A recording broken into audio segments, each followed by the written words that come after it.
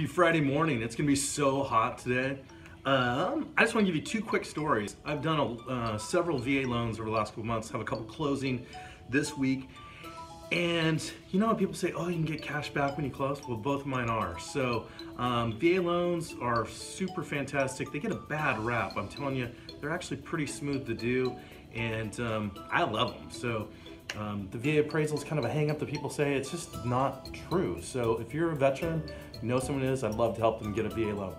And other quick note, jumbos. You've heard me say it, but our jumbo product is amazing. The pricing on it is fantastic. It never has MI on it. And then I get the question, what is a jumbo? Basically means it's over conforming rate. So any loan that's over 548 $1,250 would be considered jumbo. Anyway, love to help you. Uh, if you have questions, works on first and second homes. Have a great day.